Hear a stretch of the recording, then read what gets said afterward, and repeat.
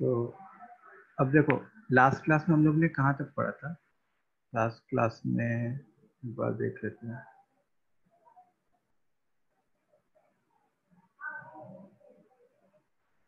हाँ ठीक है।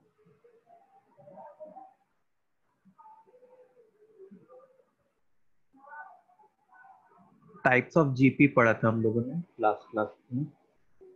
तो एक बार जल्दी से देख लेते हैं। कि देखो infinite increasing GP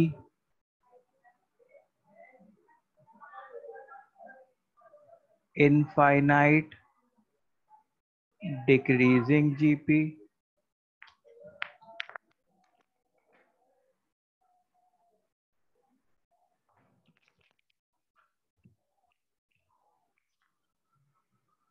ठीक है? फिर finite increasing GP and finite decreasing GP क्या क्या होता? तो इनफाइनाइट इंक्रीजिंग जीपी मतलब नंबर ऑफ़ टर्म्स तो इनफाइनाइट हो रहे होते हैं? और जो आर होता, वो वन से बड़ा होता या माइनस वन से छोटा होता। इनफाइनाइट डिक्रीजिंग जीपी में नंबर ऑफ़ टर्म्स इनफाइनाइट हो रहे होते और आर जो है माइनस वन से वन के बीच में होता। फाइनाइट इंक्रीजिंग जीपी में नंबर ऑफ़ टर्म्स फाइनाइट हो रहे होते और आर वन से बड़ा या माइनस वन से छोटा होता। एंड फाइनाइट डिक्रीजिंग जीपी में। नंबर ऑफ़ टर्म्स फाइनाइट हो रहे होते एंड आर की वैल्यू माइनस वन से वन के बीच में होती। ठीक है? सो so, अब देखो जैसे मान लो कि कोई भी फाइनाइट जीपी हो ठीक है? फाइनाइट जीपी का क्या मतलब होगा? बोलो फाइनाइट जीपी का क्या मतलब होगा?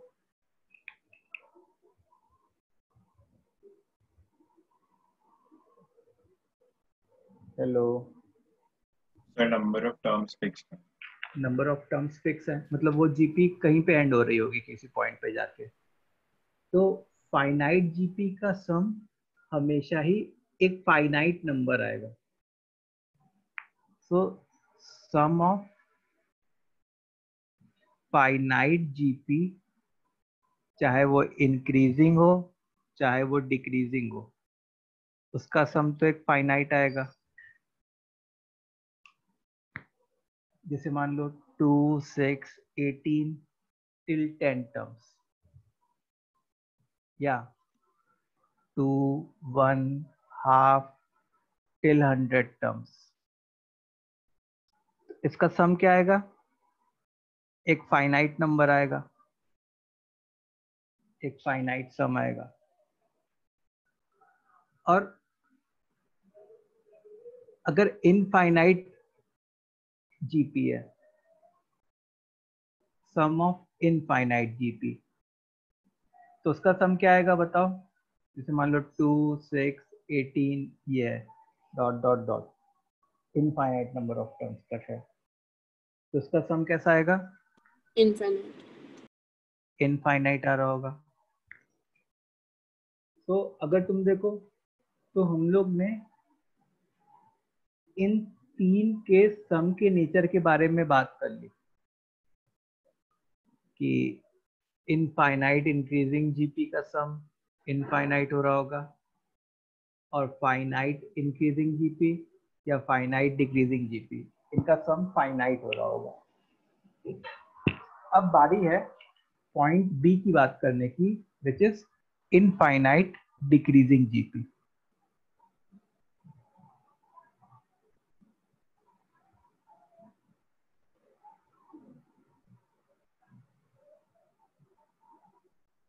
ठीक है? सो अब इनफाइनाइट डिक्रीजिंग जीपी में क्या होगा? देखो जरा। इसमें एक तो आर की वैल्यू माइनस वन से वन के बीच में हो रही होगी और एन जो है वो इनफाइनाइट हो रहा होगा नंबर ऑफ़ टर्म्स तो अब तुमको एक ट्रू एंड फॉल्स बताना है कि sum of infinite number of positive terms will always be infinite. Sum of infinite number of positive terms will always be infinite. ये ट्रू है कि फॉल्स है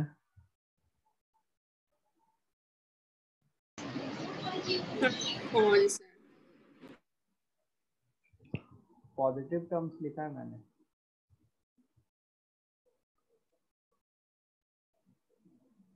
सर पॉजिटिव अगर मतलब one by two one by four ऐसे ले तो वो तो इन्फिनिटी तो ही ना होगा। नहीं टर्म्स इनफाइनाइट है। मतलब इनफाइनाइट मतलब एंड नहीं हो रहा है। चलते जा रहे हैं चलते जा रहे हैं चलते जा रहे हैं। तो ये मतलब इनफाइनाइट डिक्रीजिंग जीपी के कॉन्टेक्स्ट में है या? मैं ऐसे ही इन जनरल पूछ रहा हूँ।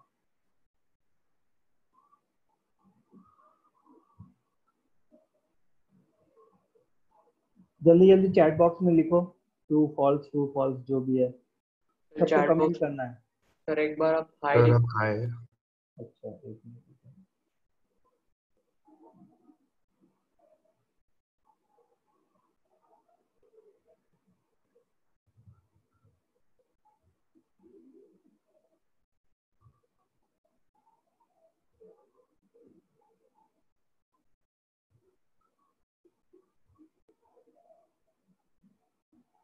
जल्दी जल्दी कमेंट करो। केवल तीन चार कमेंट आए मेरे को।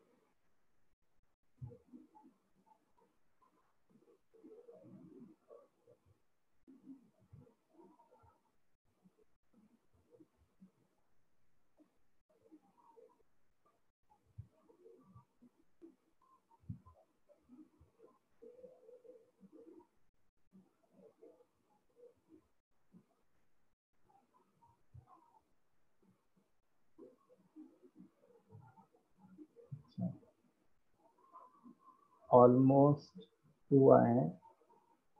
एक, दो फॉल्स आए इसका आंसर पता है क्या होगा? फॉल्स होगा।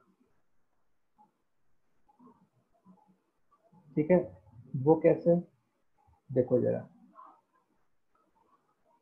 जैसे मैं एक ऐसी सीरीज़ मान लू। One zero point one zero point zero one zero point zero zero one zero point zero zero zero one ऐसे इनफाइनाइट नंबर ऑफ़ टर्म्स तक लेके जाओ इस सीरीज़ को। सारे के, देखो, दो क्राइटेरिया मीट करानी है। सारे के सारे पॉजिटिव होने चाहिए थे और इनफाइनाइट नंबर ऑफ़ टर्म्स होने चाहिए थे। तो इसका सम क्या आता इसका सम तो one point one one one one ऐसे आ रहा होता। ठीक है? इसका सम जो है one point one one one one ऐसे आ रहा होता। तो ये सम क्या आ रहा है बताओ? ये इनफाइनाइट वैल्यू है क्या? बहुत बड़ी वैल्यू है क्या? नो सर नो सर ये एक फाइनाइट वैल्यू है। सो so, ऐसे ही टाइप की चीज़ कुछ जीपी में भी होती है। सॉरी इनफाइनाइट डिक्रीजिंग जीपी में। ठीक है तो ऐसे ही टाइप की चीज़ कुछ इनफाइनाइट डिक्रीजिंग जीपी में भी होती है। So sum of infinite decreasing GP is a finite quantity is what it is a finite quantity sum of infinite decreasing GP समझ में आई बात?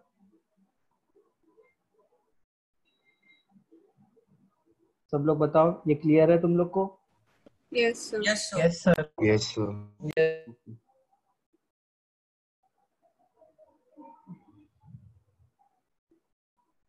okay अब हम लोग का टारगेट पता है क्या है? सम फाइंड करना। तो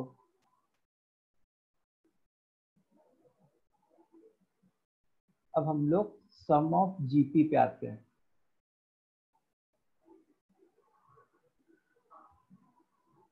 तो पहले इसमें टॉपिक पढ़ेंगे। Sum of finite GP. ठीक है, sum of finite GP. Finite GP का सम। तो अब इसमें क्या है कि फाइनाइट जीपी का क्या मतलब है कि फिक्स नंबर ऑफ़ टर्म्स तक, जैसे मान लो एन टर्म्स तक सम फाइंड करना है जीपी का। तो उसको हम लोग कैसे लिखेंगे?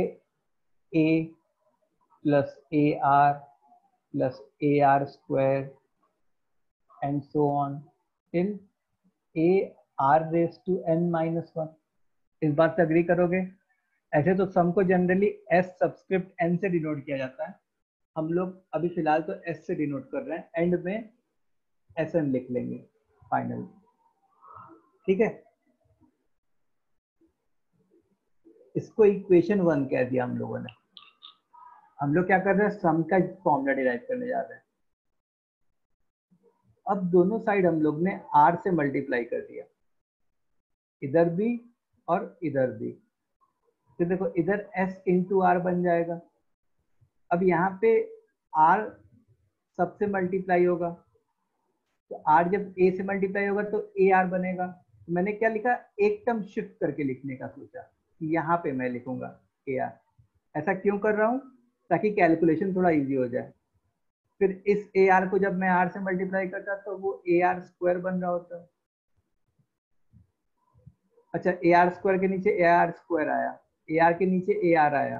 तो यहाँ पे जब मल्टीप्लाई हो रहा होता कोई टर्म तो यहाँ पे इसके नीचे A R raise to N minus one आ रहा होता। और फिर ये जब मल्टीप्लाई हो रहा होता आर से तो क्या आ रहा होता? A R raise to N इस बात से सब लोग अग्री करेंगे? तो दिस इज़ सेकेंड इक्वेशन ठीक है? अब हम लोग ने क्या किया? फ़र्स्ट माइनस सेकेंड कर दिया। तो लेफ़्ट हैंड साइड आपस में सब्ट्रैक्ट होंगे और राइट हैंड साइड आपस में सब्ट्रैक्ट होंगे। तो s minus S R is equal to A अच्छा अब देखो, ये तो कैंसिल हो जाता। A R and minus A R फिर ये भी कैंसिल हो जाता, फिर ये भी कैंसिल हो जाता, फिर इधर वाले भी सब कैंसिल हो जाता। तो a minus A R raise to N sir, मैं डिस्कनेक्ट हो गया। सर, एक बार एस आर समझा सकते हो? एस आर में क्या किया था हम लोगों ने? कि हम लोगों ने आर से मल्टीप्लाई कर दिया और इधर वाले को आर से जब मैं मल्टीप्लाई करता तो जैसे ए इंटू आर बनता तो यहाँ लिखने के बजाय इधर लिखा, एकदम शिफ्ट करके, ताकि हमारा कैलकुलेशन थोड़ा इजी दिखे। फिर जब ए आर आर के साथ मल्टीप्लाई होता तो ए आर स्क्वायर बनता। ऐसे ही इधर वाला कोई टर्म मल्टीप्लाई होता तो A R raise to N minus one बनता। और जब ये आर से मल्टीप्लाई होता तो A R raise to N बनता। फिर हम लोग ने फ़र्स्ट माइनस सेकेंड कर दिया। तो S minus S R is equal to A इसके नीचे तो कोई है नहीं। अच्छा ये कैंसिल हो गया, ये कैंसिल हो गया, ये कैंसिल हो गया। अच्छा इसके ऊपर भी कोई नहीं है। तो A minus A R raise to N मतलब एस ब्रैकेट में one minus R is equal to A bracket में one minus R raise to N तो s is equal to A one minus R raise to N whole upon one minus R ठीक है, अब हमको अच्छा नहीं लगता कि आर का कोफिशिएंट नेगेटिव हो। मैंने माइनस वन से ऊपर नीचे मल्टीप्लाई डिवाइड मतलब। तो ऊपर क्या बन गया? A R raise to N minus one upon R minus one ठीक है? So sum of N terms of GP जो है, उसका फॉर्मूला आ गया हमारे पास। A into R raise to N minus one whole upon R minus one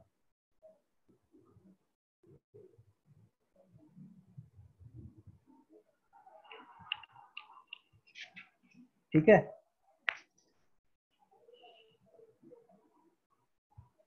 ये समझ में आया सबको? एक बार जल्दी से कमेंट करो।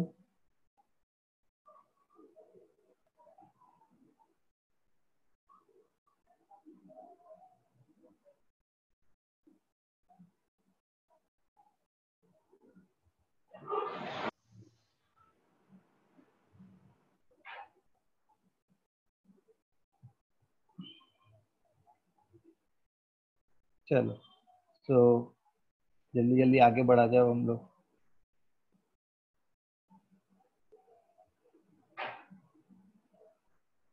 आर ग्रेटर देन वन नहीं।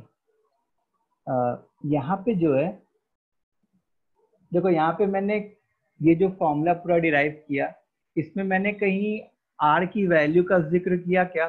कि आर को वन से छोटा होना चाहिए या माइनस वन या वन के बीच में होना चाहिए या माइनस वन से छोटा होना चाहिए। कहीं भी उस बात का यूज़ नहीं आया। इसका मतलब ये sum of N terms of GP है और ये formula finite increasing and finite decreasing GP दोनों के लिए यूजफुल होगा। So no restriction on R हाँ बस एक रिस्ट्रिक्शन होगा कि आर वन के बराबर नहीं हो सकता यहाँ पे। तो उससे तो डिनोमिनेटर ज़ीरो हो जाता। एक रिस्ट्रिक्शन ये होगा कि आर वन के बराबर नहीं हो सकता। Yes n denotes number of terms n denote n क्या डिनोट करता है? Number of terms A denote करता है फ़र्स्ट टर्म आर डिनोट करता है common ratio and N denote करता है number of terms in GP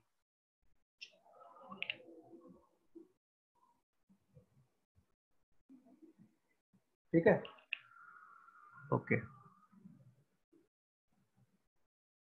अच्छा अब बारी आती है कि जैसे मान लो हमारी जीपी अगर हमारा आर वन हो जाए मतलब सर ए इंटू एन हो जाएगा। हाँ अगर आर वन हो जाए तो जीपी हमारी कैसे टाइप की बन रही होगी? ऐसे टाइप की बन रही होगी। ए ए ए ए एन बार ए लिखा होगा। इसका सम क्या आएगा? ए प्लस ए प्लस ए कितनी बार? एन बार। तो उसकी वैल्यू क्या हो जाएगी? ए इंटू एन ठीक है? सो so, अगर आर वन है तो उसकी वैल्यू जो है सम सम ऑफ़ जीपी जो है वो क्या आएगी? ए इंटू एन अगर आर वन है तो सम सम क्या आएगा? ए इंटू एन ठीक है? तो इसको भी ध्यान रखा। तो आर जब वन है तो उस जीपी को अपन क्या कहते हैं? कांस्टेंट जीपी से। कि सारे टर्म्स कांस्टेंट है। इंक्रीज या डिक्रीज नहीं कर रहे कुछ भी। अब नेक्स्ट आता है sum of infinite decreasing GP क्या है? Sum of infinite decreasing GP तो इनफाइनाइट डिक्रीजिंग जीपी में क्या क्या खास बात होती है? आर की वैल्यू माइनस वन से वन के बीच में होती है। और नंबर ऑफ़ टर्म्स इनफाइनाइट होते हैं।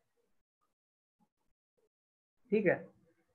तो अच्छा जैसे एक एग्जांपल ले रहा हूँ मैं जस्ट फॉर अंडरस्टैंडिंग जैसे वन बाय टू जैसे मान लो आर को मैंने वन बाय टू ले लिया से और आर रेस टू इंफिनिटी किया। मतलब वो एक तरीके से one by two raise to infinity हो गया। अच्छा one by two raise to infinity क्या बन रहा होता?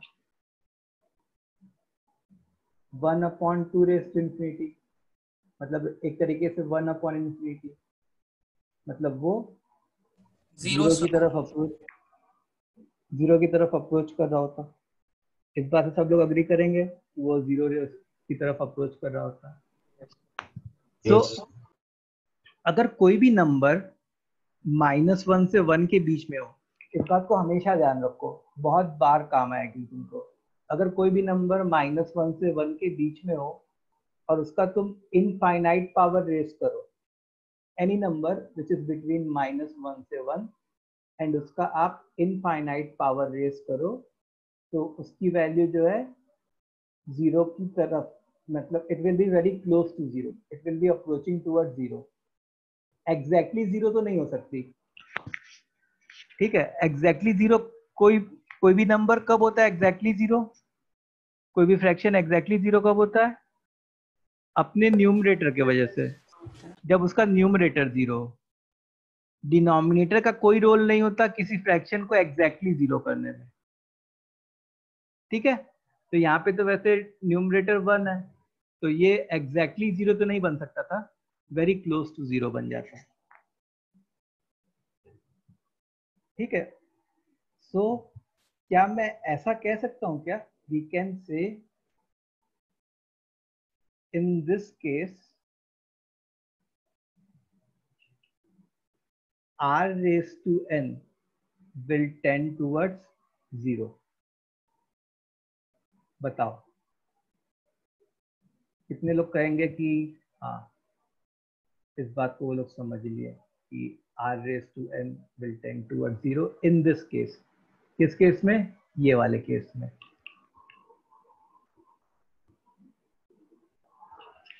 जैसे मैंने यहाँ पे आर की वैल्यू हाफ़ लेके दिखाई तुमको।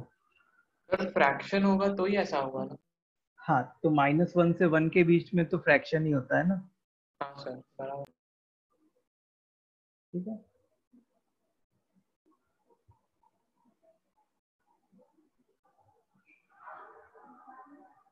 बोलो सब लोग कमेंट करो ये चीज़ क्लियर है?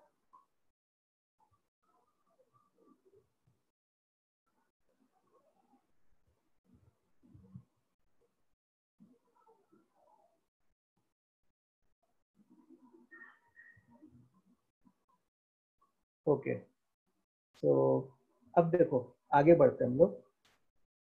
विल मूव फॉरवर्ड तो अब इसमें क्या है? देखो जरा। इसमें जो है आ, क्या कहता हूँ मैं? तो क्या मैं ऐसा कह सकता हूँ कि जैसे जो हमारा एस एन था उसका फॉर्मूला क्या था? A into R raise to N minus one upon R minus one sum of N terms of GP in case of infinite decreasing gp s infinity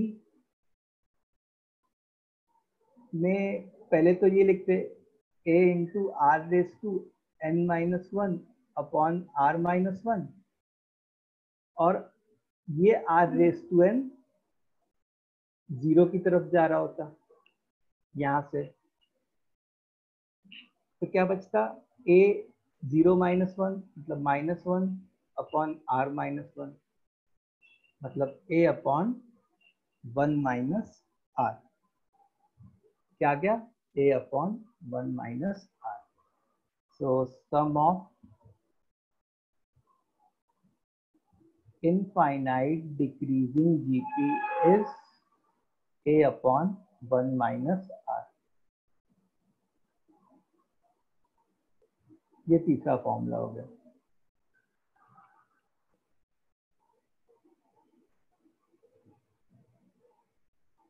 ठीक है?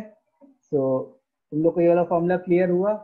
कहाँ से आया इसका derivation A upon one minus R sum of infinite decreasing GP तो sir हाँ? मतलब इस इनफिनाइट डिक्रीजिंग एपी में उसका सम कांस्टेंट रहेगा चाहे जित, जितने इनफिनाइट टर्म्स हो। हाँ। मतलब देखो ये जो वैल्यू आती है ना ये तुम समझ लो कि थोड़ी अप्रोक्सीमेट वैल्यू आती है। मतलब Exact सर इवन अगर अगर एक भी हो तो तो भी वही आंसर होगा और हंड्रेड भी हो तो भी आंसर एक ही होगा मतलब नंबर ऑफ़ टर्म नहीं इनफाइनाइट नंबर ऑफ़ टर्म्स है ना। देखो मैंने लिखा है sum of infinite decreasing GP अगर फाइनाइट नंबर ऑफ़ टर्म्स है जैसे मान लो मैंने क्वेश्चन दे दिया कि two plus one plus half till hundred terms से ऐसा क्वेश्चन दे दिया। तो ये इसमें तो फाइनाइट के अंदर आ जाएगा ठीक है समझ? हाँ तो इसमें तो तुम ये वाला फॉर्मूला लगा दोगे। इसमें ये वाला फॉर्मूला लगाओगे। लेकिन अगर मैं लिख दूँ two plus one plus half and dot dot dot तब जाके तुम इसमें A upon one minus R लगाओगे। तो ये अप्रोक्सीमेट वैल्यू है। हाँ ये अप्रोक्सीमेट वैल्यू है। ये अप्रोक्सीमेट वैल्यू है। बहुत ऑब्वियस सी बात है कि जैसे अगर कोई series infinite number of terms तक जा रही है तो तुम उस सीरीज़ का एग्जैक्ट सम तो नहीं निकाल सकते। अगर कोई series infinite number of terms तक जा रही होगी तो उसका एग्जैक्ट सम निकाल सकेंगे क्या आपने? नहीं सर। नहीं। तो उसका हम लोग हमेशा फाइनाइट सम निकालते हैं। ठीक है?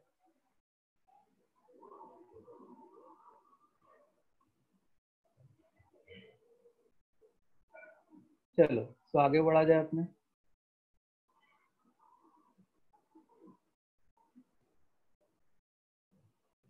So अगर मैं समराइज करूँ want to summarize so in summary we will have तो sum of infinite GP increasing वाला का क्या होगा? उसका तो सम इनफाइनाइट अगर sum of infinite increasing GP है तो उसका सम तो इनफाइनाइट ही आएगा। ठीक है सर उसे इनफाइनाइट हम टर्म करते हैं। हाँ तो उसके लिए तो अलग से पढ़ना है ही नहीं। हम लोग तो उसके लिए ही पढ़ेंगे। जिसकी वैल्यू कुछ फाइनाइट आती है। तो अगर समराइज करें सम के बारे में तो sum of N terms of GP जो है, उसका फॉर्मूला क्या होता है? A into R raise to N minus one upon R minus one ये जो है इंक्रीजिंग प्लस डिक्रीजिंग जीपी दोनों के लिए वैलिड है। ठीक है? फिर sum of infinite decreasing GP इसका सम क्या आएगा? A upon one minus R ठीक है? फिर सम ऑफ़ से कांस्टेंट जीपी कांस्टेंट जीपी का सम ए इंटू एम ठीक है? तो ये तीन फॉर्मूलेज हो गए। सम के लिए और सबका डेरिवेशन मैंने करके दिखा दिया तुमको।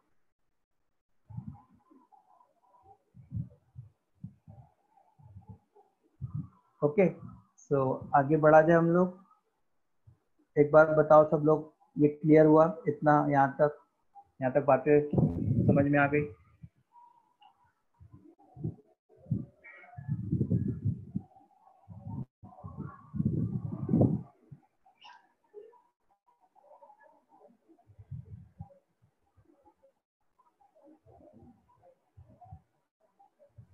Sir sum of decreasing AP हमेशा माइनस इन्फिनिटी रहेगा ना?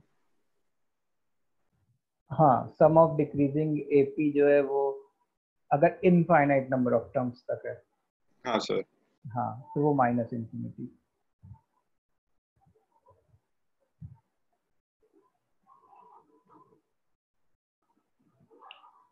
जनरली एपी के बारे में इंक्रीजिंग या डिक्रीजिंग की बात नहीं करते। जीपी के बारे में बात करते हैं क्योंकि एक टर्म का आ जाता है सवाल sum of infinite decreasing GP ठीक है? इसलिए जीपी के बारे में बात करते हैं हम लोग। खैर तो ये फॉर्मुलेस थे। अब हम लोग को क्वेश्चंस करने हैं।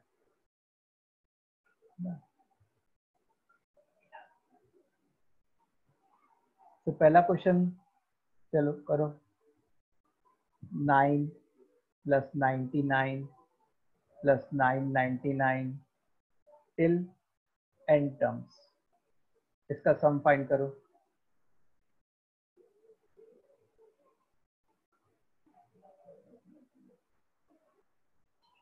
तो दो मिनट ऊपर स्क्रॉल करो।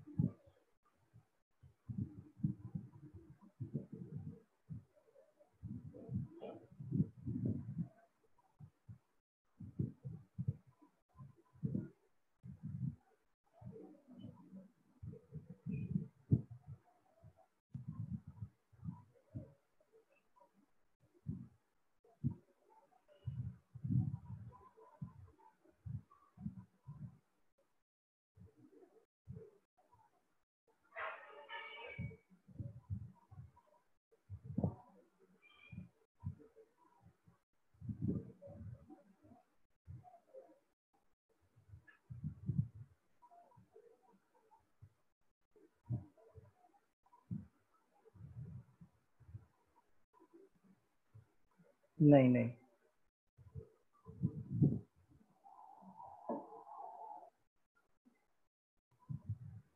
नहीं करेक्ट नहीं है।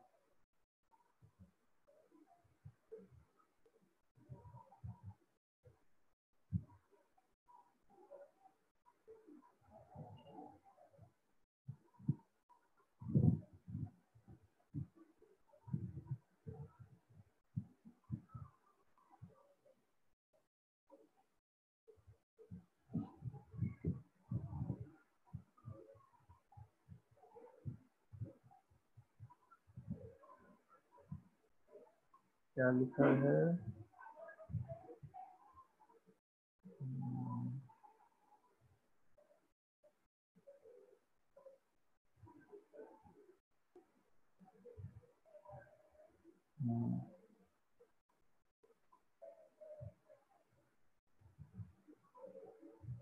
श्रेयांश का सही लग रहा है। त्रिशिता गलत है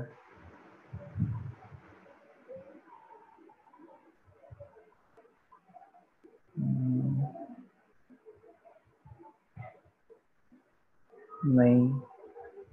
हाँ, नदी का गलत है।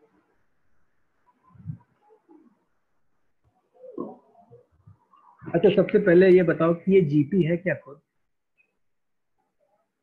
नो सर ये जीपी नहीं है ना? देखो जैसे दिस अपॉन दिस करोगे तो 11 आएगा। लेकिन दिस अपॉन दिस करोगे तो टेन पॉइंट समथिंग आ जाएगा। सर इसको हम ten minus one hundred minus one ऐसे लिख सकते हैं। हाँ। तो अब देखो, इसके सम को जैसे मान लो एस मान लिया तो नाइन को मैंने क्या किया? टेन माइनस वन लिख लिया। टेन को हंड्रेड माइनस वन मतलब ten square minus one nine ninety nine को टेन क्यूब माइनस वन ठीक है? ऐसे ही, अब देखो, जैसे नाइन था एक नाइन था तो टेन का पावर वन आया, दो नाइन था तो टेन का पावर टू आया, तीन नाइन था तो टेन का पावर थ्री आया। तो जो आखिरी एनथ टर्म होता, उसमें टेन का पावर एन आता, माइनस वन। अब हम लोगों ने क्या कर लिया? अब हम लोगों ने ten ten square, ten cube, इसको एक साथ रख लिया। और minus one minus one minus one इनको एक साथ रख लिया। तो देखो, ten plus ten square plus ten cube till ten raise to N अच्छा minus one minus one minus one ये सब एन बार ऐड होंगे तो माइनस एन बन जाएँगे। अच्छा अब ये वाली चीज़ क्या है? ये जो है हमारी सम ऑफ़ जीपी है। So a common ratio is ten raise to N minus one upon R minus one मैं डायरेक्टली फॉर्मूला लगा रहा हूँ। फॉर्मूला हो तो तुम एक पेज में नोट करके लिख लो। ठीक है कि तुरंत फॉर्मूले लगाने में तुमको यूजफुल रहेगा। So what we are going to get 10 upon 9 10 raised to n minus 1 minus n. अब किसका किसका सही है। सर मुझे आ गया. सही था। आप एक और बार बता सकते हैं। मुझे भी जस्ट सही था। प्रियांश का सही था। चलो समझ में आया सबको बाकी लोगों को? सर एक और बार स्टार्टिंग से बता दीजिए ना फिर से बताऊँ? देखो। देखो सबसे पहली बात तो ये जीपी नहीं है है ना? It is not a GP कैसे? वो देख देखा। Second term upon first term किया तो 99 अपॉन नाइन इलेवन आ गया। और third term upon second term किया तो 10 पॉइंट समथिंग आ गया जो कि जीपी नहीं है। मतलब इसमें हम लोग डायरेक्टली जीपी के सम का फॉर्मूला नहीं लगा सकते। तो अब मैंने नाइन को क्या किया? नाइन को I have written ten minus one 99 को क्या किया?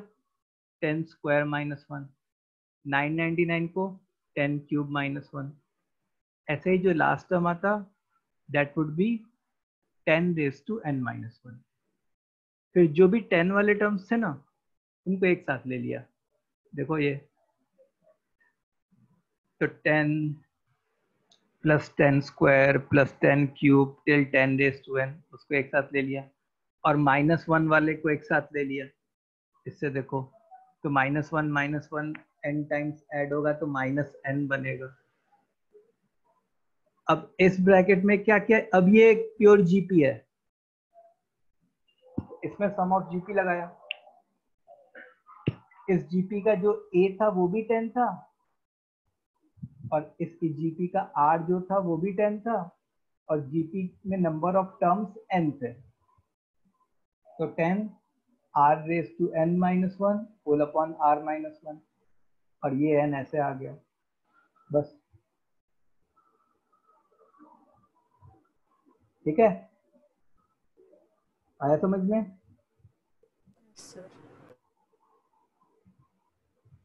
अगले क्वेश्चन की तरफ़ बढ़ा जाए हम लोग। So the next question is क्या है नेक्स्ट क्वेश्चन देखो जरा।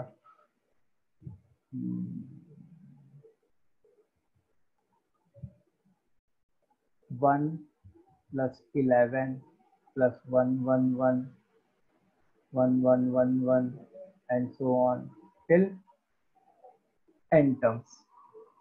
चलो। A similar type of question.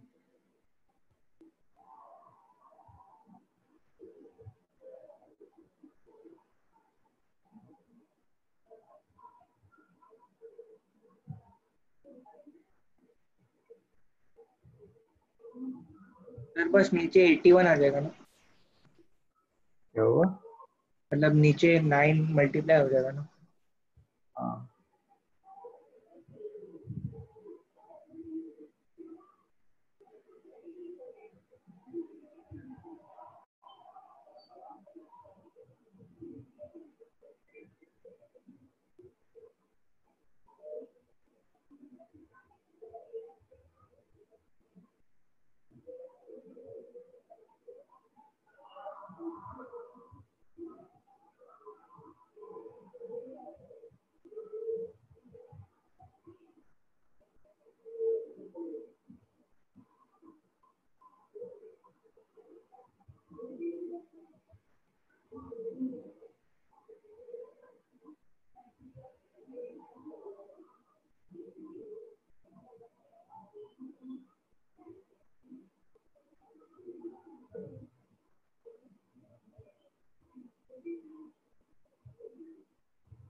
क्या ये बताओ कि इस क्वेश्चन को हम लोग ऊपर वाले क्वेश्चन के फॉर्म में कन्वर्ट कर सकते हैं क्या?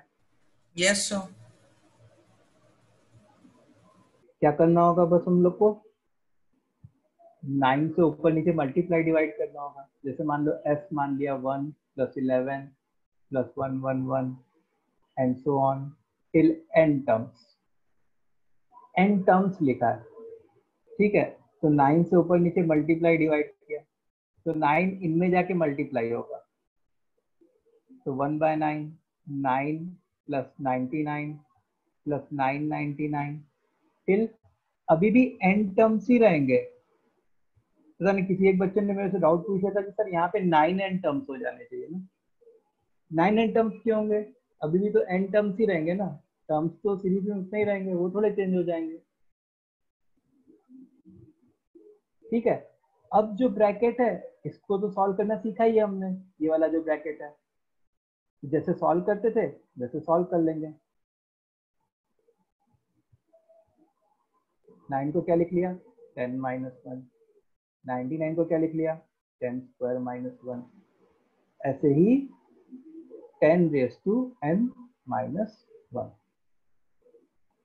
अब इसको तुम लोग फर्दर सॉल्व कर लेना, जैसे ऊपर किया था। to solve by yourself.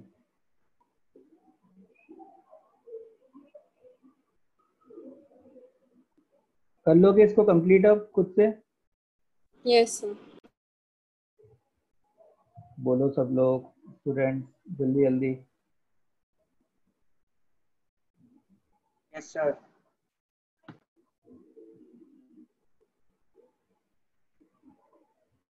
चलो नेक्स्ट क्वेश्चन करते हैं।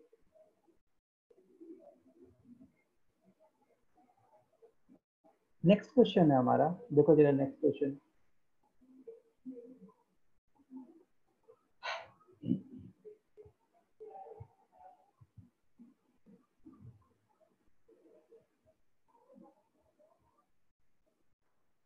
नेक्स्ट क्वेश्चन ये है, देखो।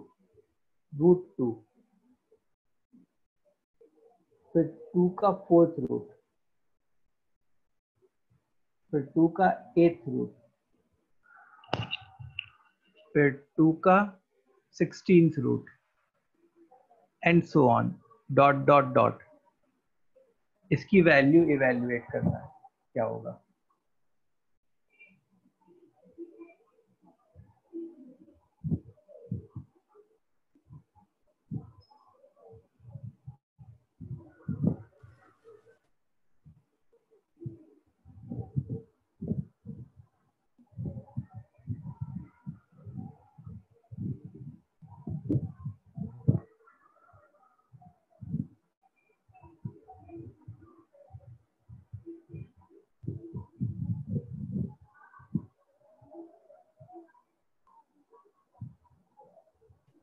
सर मल्टीप्लिकेशन पूछा है।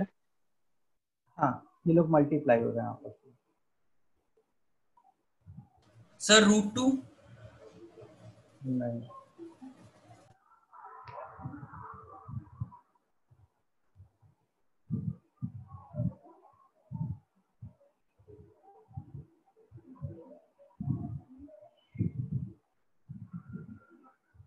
हम्म।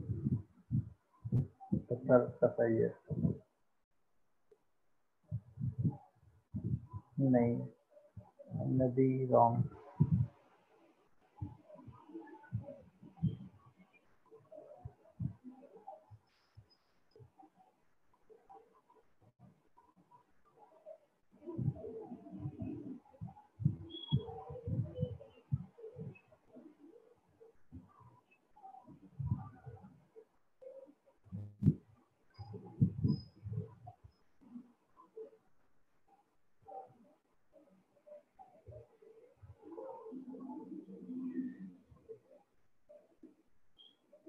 बाकी और किसका आया?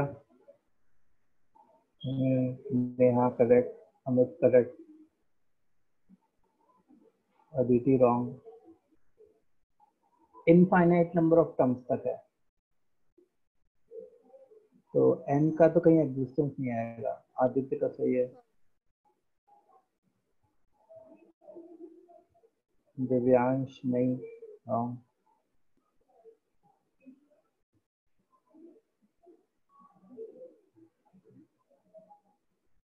Harshad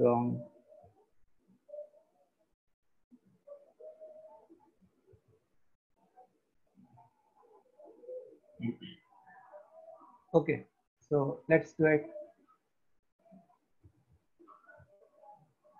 जैसे मान लो हाँ आरना का सही है। एस को हम लोग ने ऐसे मान लिया। रूट टू मतलब two raise to one by two फिर इसको क्या लिख लेंगे?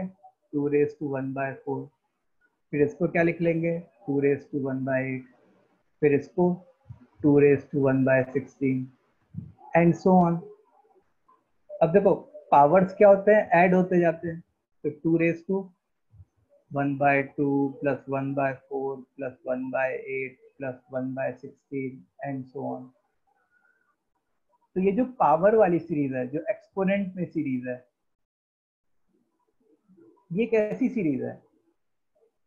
It is an infinite decreasing gp जो पावर में सीरीज़ है। तो उसका सम हम लोग पहले अलग से निकाल लेते हैं। देखो, इसका a जो है हाफ़ है, और कॉमन रेशियो की वैल्यू भी हाफ़ है। तो इसका सम क्या हो जाएगा? A upon one minus r हाँ अदिति का सही है। तो half whole upon one minus half ये वन आ गया। ये जो येलो वाला पार्ट है उसकी वैल्यू वन आ गई। तो ये एक तरीके से क्या हो गया? टू रेस टू वन तो आंसर जो है हमारा टू हो गया।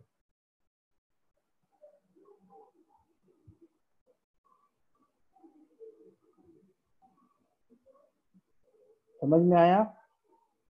सर आप एक बार वापस एक्सप्लेन कर सकते हो? हम्म। देखो शुरू से देखो।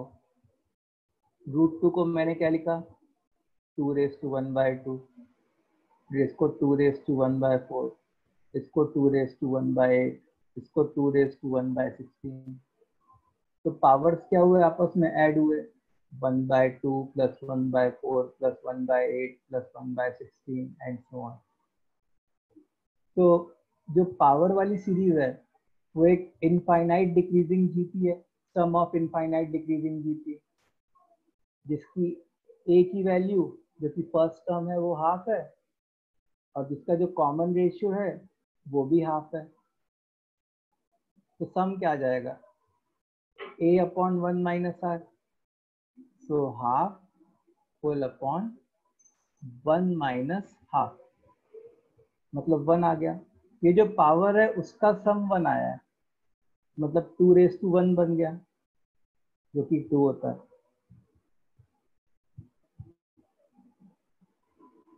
ओके सर गॉट इट ठीक है? सबको समझ में आ गया?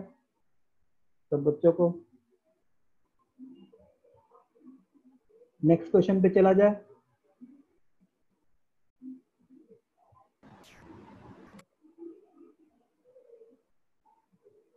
अब देखो नेक्स्ट क्वेश्चन देखो क्या है? इस क्वेश्चन में किसी को डाउट है?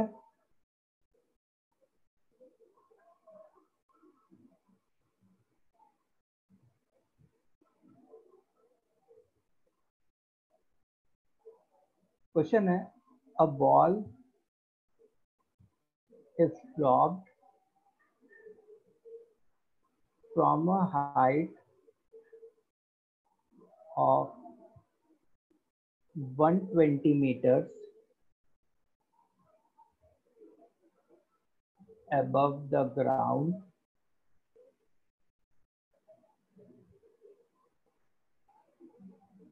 After striking the ground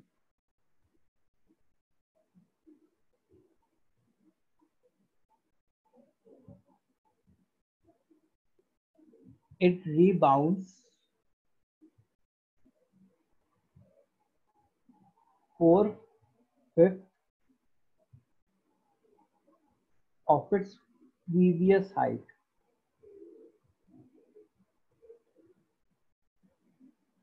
ठीक है then find total distance covered by the ball before it comes to rest.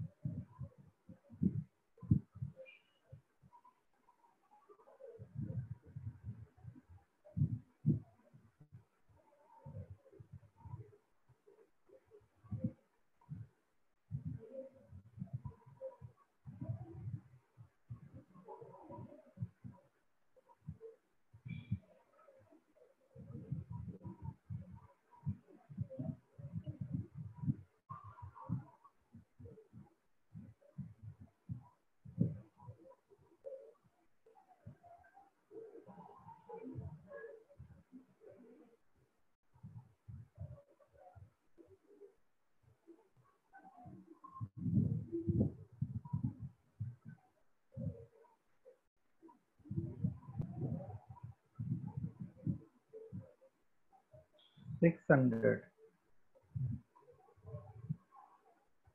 नहीं सिक्स हंड्रेड नहीं आएगा।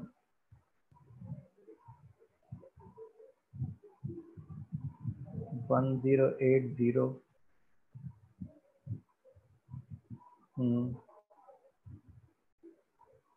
one zero eight zero और क्या आंसर आ रहा है?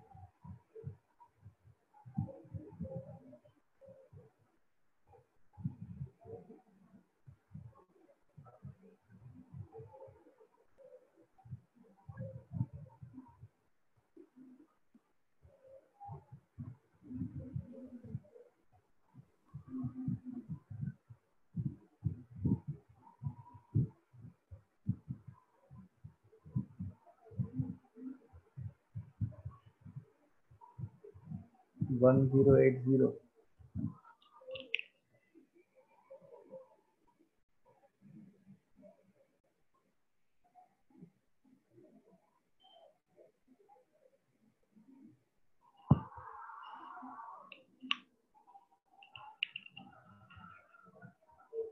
अच्छा चलो देखते हैं।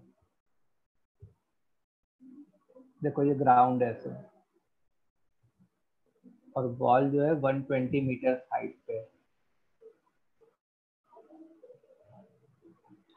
तो बॉल क्या करेगी कि ग्राउंड से स्ट्राइक होने के बाद four fifth of its previous height jump करेगी तो जैसे मान लो यहाँ से नीचे आई पहले, फिर स्ट्राइक की तो जब ऊपर गई तो यहाँ तक ही गई और ये जो डिस्टेंस हुआ वो कितना हुआ? Four by five into one twenty फिर अब फिर से नीचे आई और अब जो ऊपर गई, वो यहाँ तक गई। तो अब इसका फोर बाय फाइव मतलब one twenty into four by five का होल स्क्वायर फिर जो तीसरा डिस्टेंस आता, वो क्या था? One twenty into four by five का होल क्यूब ठीक है? अब देखो, अगर उसका डिस्टेंस निकालना है हम लोग को तो अगर देखो तो 120 जो है वो उसने एक ही बार कवर किया नीचे आने में। लेकिन 120 twenty into four by five जो है, वो ऊपर जाने में भी कवर किया और नीचे आने में भी कवर किया। तो two times two times 120 twenty into four by five ऐसे ही बाकी जितने भी डिस्टेंस है, वो टू टाइम्स हो रहे हैं। 120 twenty into four by five का whole square and so on so अपना क्या बना? 120 प्लस 120 कॉमन ले लिया। टू से मल्टीप्लाई हो गया 240 four by five plus four by five का whole square, and so on till infinite number of terms. So 120 plus 240 अब ये तो सम ऑफ़ इनफाइनाइट जीपी है। तो ए और आर भी यही है। Upon one minus r so 4 by 5 whole upon 1 by 5 तो 4 बन जाता है तो 120 plus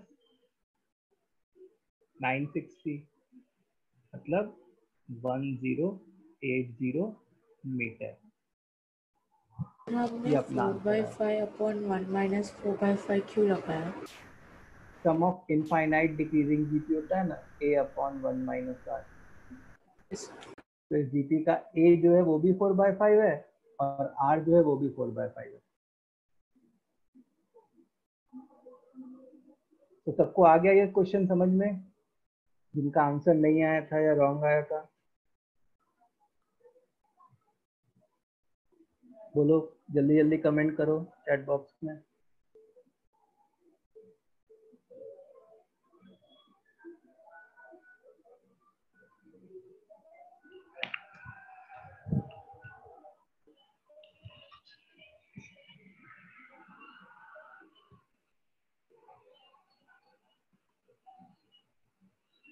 Why infinite GP infinite GP इसलिए क्योंकि ये मतलब ये ऐसे चलता चला जाएगा ना। ऐसे ऐसे ऐसे ऐसे इनफाइनाइट नंबर ऑफ़ टाइम्स तक ऐसे ऑसिलेट करता जाएगा।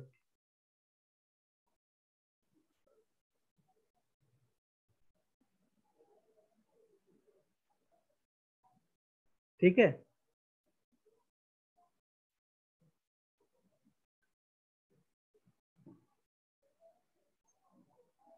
चलो let's come to next question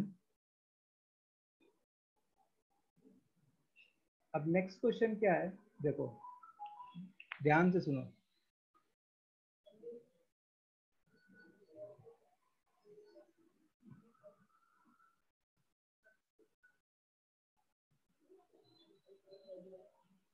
जैसे मान लो ये एक्स एक्सेस है, ये वाई एक्सेस है।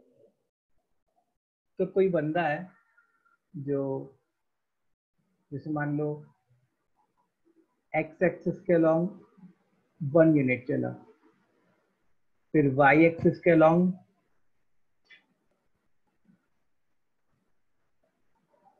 हाफ़ यूनिट चला, फिर इधर वन बाय फोर यूनिट चला, फिर नीचे वन बाय एट यूनिट चला। फिर इधर वन बाय सिक्सटीन यूनिट चला। फिर ऊपर one by thirty two units चला। और ऐसे एक समय मतलब उसका डिस्टेंस छोटा होता जा रहा है, छोटा होता जा रहा है एक समय आएगा कि जब वो मोमेंटरली रेस्ट पे आ जाएगा। तो मान लो किसी पॉइंट पे रेस्ट पे आ गया से यहाँ पे रेस्ट पे आ गया। सो हम लोग को क्या करना है? Find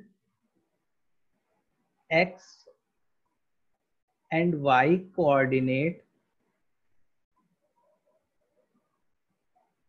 of the point where the particle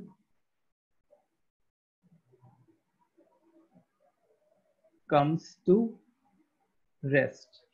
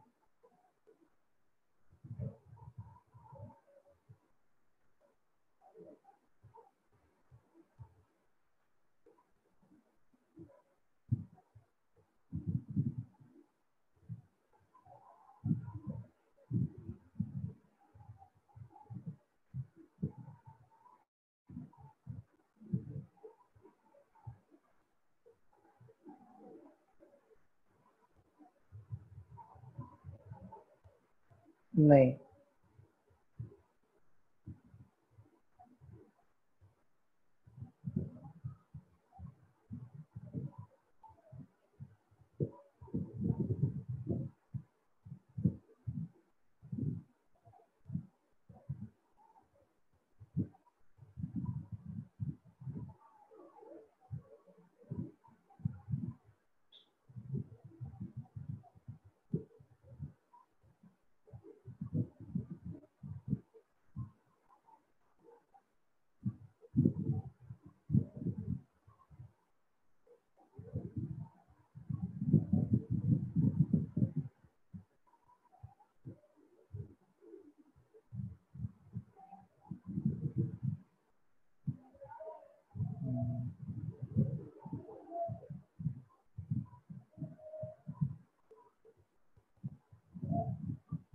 हाँ। श्रेयांश का सही है।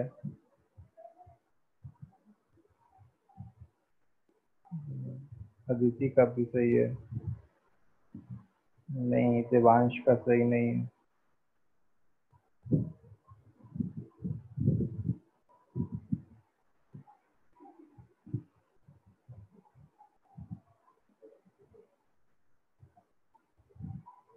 हाँ। आदित्य का सही।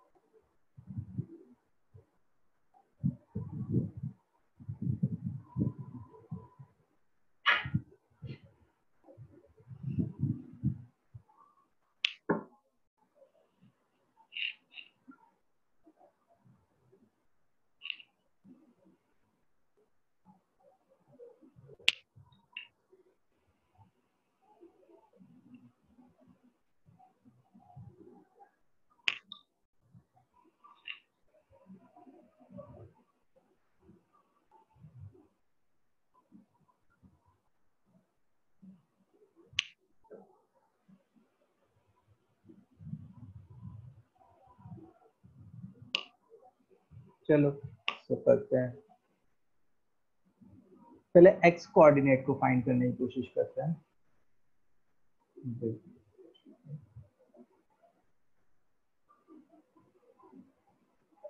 सही आंसर है four by three comma two by five x and y coordinate देखो, पहले एक्स कोऑर्डिनेट को फाइंड करने की कोशिश करते हैं। तो देखो, जैसे मान लो ये फाइनल एक्स कोऑर्डिनेट है।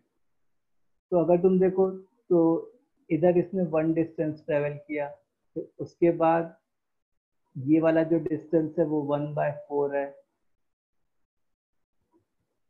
फिर अगला वाला जो डिस्टेंस आता, वो वन बाय सिक्सटीन आता। तो जो एक्स कोऑर्डिनेट फाइनल होता वो क्या होता? One plus one by four plus one by sixteen and so on till infinite number of terms ठीक है? तो अब ये तो इनफाइनाइट डिक्रीजिंग जीपी है, इसका सम क्या आएगा? A upon one minus r तो one upon one minus one by four तो I will be getting four by three x coordinate क्या आ गया? फोर बाय थ्री अच्छा वाई कोऑर्डिनेट के बारे में अगर तुम देखो। If you see about y coordinate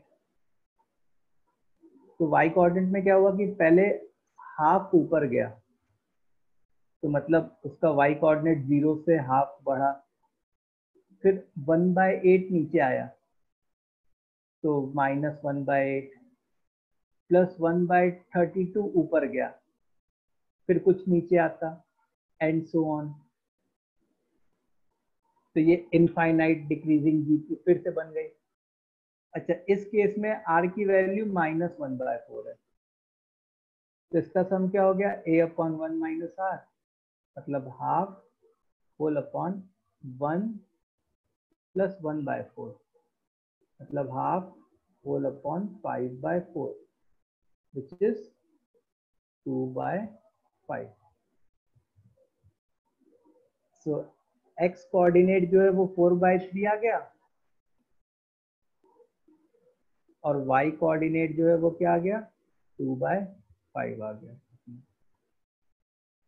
final point का।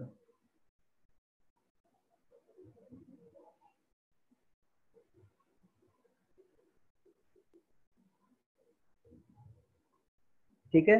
ये सबको समझ में आ गया? सर y कोऑर्डिनेट का बताओ सर वापस देखो y कोऑर्डिनेट में क्या हो रहा है कि ऊपर भी जा रहा है नीचे भी जा रहा है फिर ऊपर जा रहा है फिर नीचे जा रहा है। ऑल्टरनेट चल रहा है। तो पहले ज, जैसे जब ऊपर गया तो प्लस हाफ़ लिखा। फिर वन बाय एट नीचे आया तो माइनस वन बाय एट लिखा। फिर वन बाय थर्टी टू ऊपर गया तो plus one by thirty two लिख लिया। फिर कुछ नीचे आता तो माइनस लिख लेता। ऐसे dot dot dot dot infinite number of terms तक तो ये भी एक जीपी है। इस जीपी का कॉमन रेशियो क्या होता? माइनस वन बाय फोर तो इस जीपी का सम क्या लिखते? A upon one minus r a is half one plus one by four so half whole upon five by four मतलब टू बाय फाइव आ गया।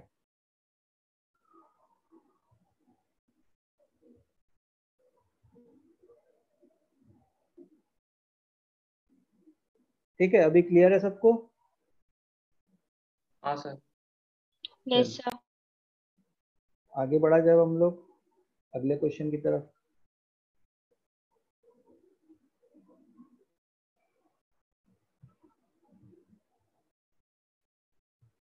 तो नेक्स्ट क्वेश्चन है देखो क्या है।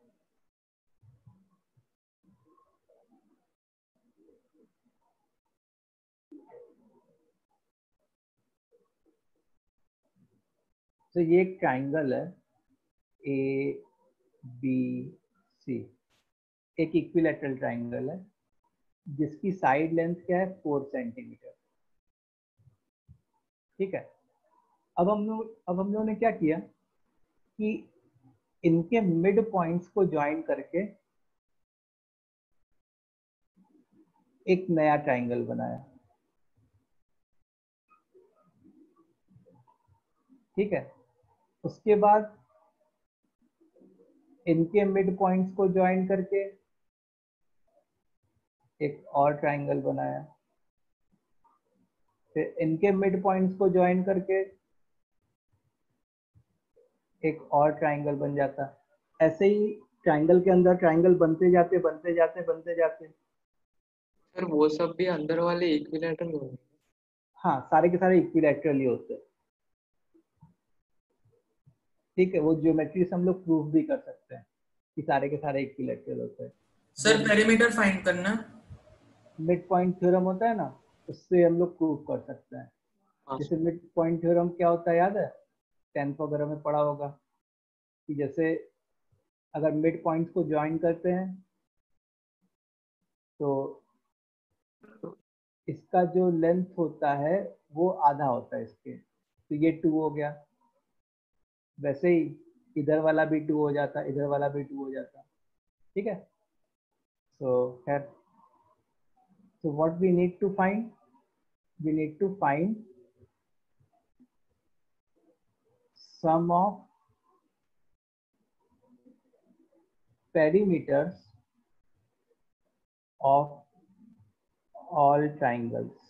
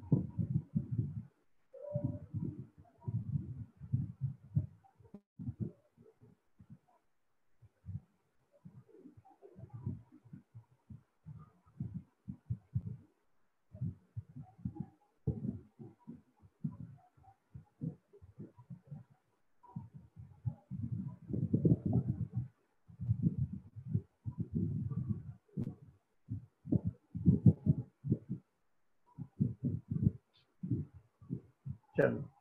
तो काफ़ी लोगों के आंसर आए twenty four twenty four twenty four. तो देखो, जैसे बहुत सारे ट्राइंगल्स बन रहे होते हैं। तो पहला ट्राइंगल का जैसे साइड होता, पहले ट्राइंगल का पेरीमीटर जो होता, वो ट्वेल्व होता। Four plus four plus four दूसरे ट्राइंगल का पेरीमीटर जो होता है, वो सिक्स होता। क्योंकि हर साइड दो दो यूनिट की हो जाती। फिर तीसरे ट्राइंगल का पेरीमीटर थ्री होता। एंड सो ऑन और इनफाइनाइट नंबर ऑफ़ ट्राइंगल्स बनते जाएँगे बनते जाएँगे।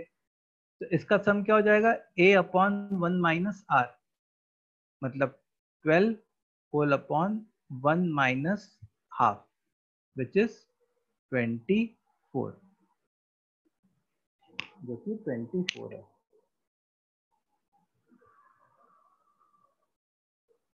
ठीक है, अब इसी में सेकंड पार्ट कर लो। कि find sum of all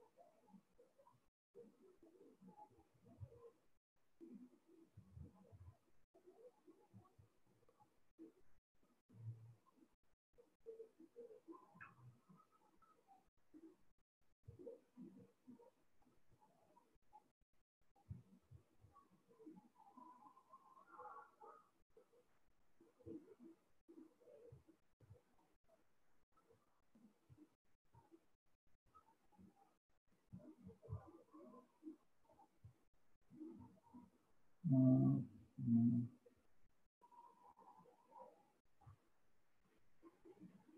Area of equilateral triangle क्या होता है बताओ? Root three by four root 3 a square by 4. Root three by four into a square तो देखो हर जगह से रूट थ्री बाय फोर तो कॉमन आता।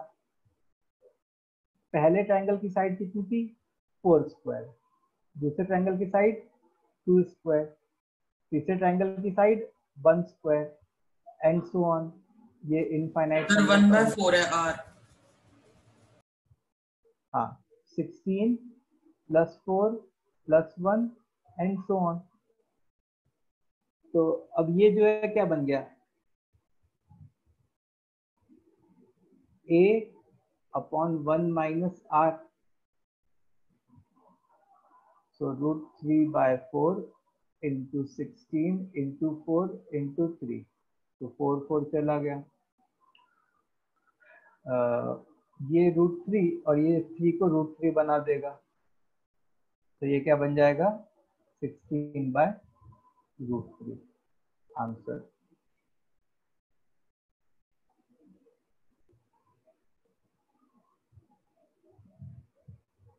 ठीक है?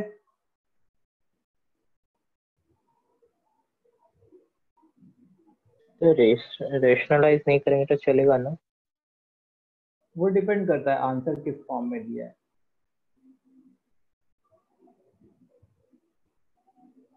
ठीक है? अब एक होमवर्क क्वेश्चन लिख लो इसी टाइप का। कि से एक स्क्वायर है।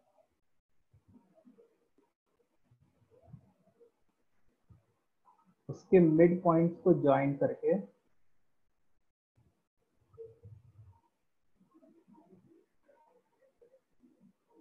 एक दूसरा स्क्वायर बनाया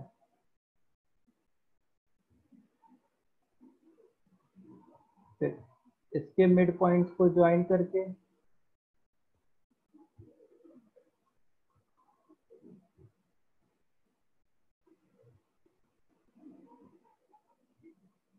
एक तीसरा बनता। तो फिर उसके बाद इसके मिड पॉइंट्स को ज्वाइन करके एक चौथा बनता। और ये प्रोसेस कंटिन्यू हो रहा होता, हो रहा होता, हो रहा होता। ठीक है? अच्छा साइड ऑफ़ स्क्वायर जो है वो फोर है। फोर यूनिट्स से। ठीक है? ठीक है? तो क्या फाइंड करना है? फाइंड पहला है सम ऑफ़ एरिया। दूसरा है सम ऑफ़ पेरीमीटर।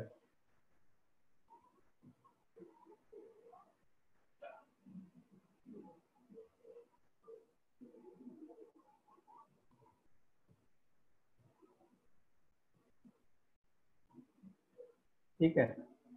और एक क्वेश्चन और लिख लो इस टाइप का। सर, एक मिनट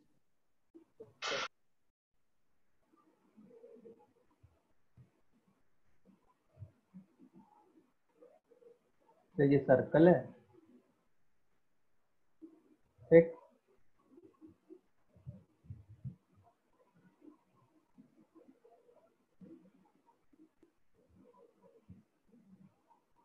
सर्कल के अंदर एक स्क्वायर बनाया। मतलब लग नहीं रहा स्क्वायर जैसा, लेकिन मान लो ये स्क्वायर है।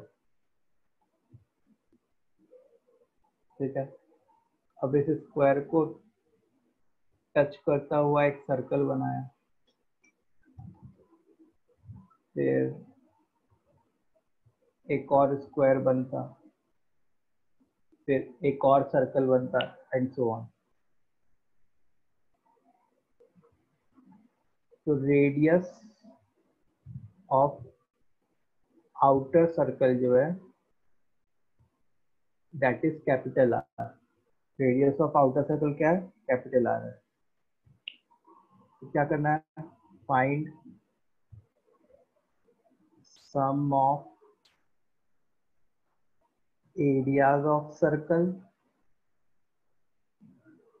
और दूसरा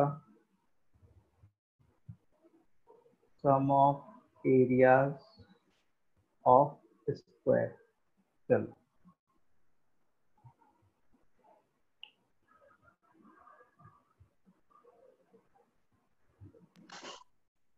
ठीक है? सर ऊपर वाला क्वेश्चन लिखा है देखो ऊपर वाला क्वेश्चन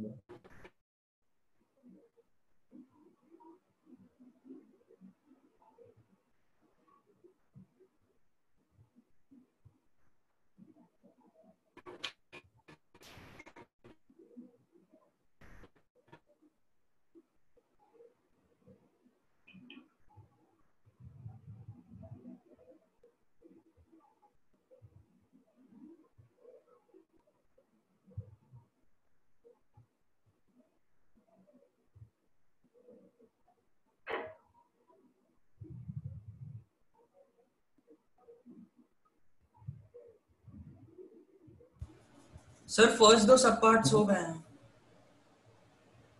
ठीक है ठीक है। चलो तो आज के हम लोग इतना ही करते हैं। और फिर सर ये आप आज आज के नोट्स भेज दो ना। हाँ ठीक है। भेज दूँगा। ओके तो goodbye thank you sir Yes, sir.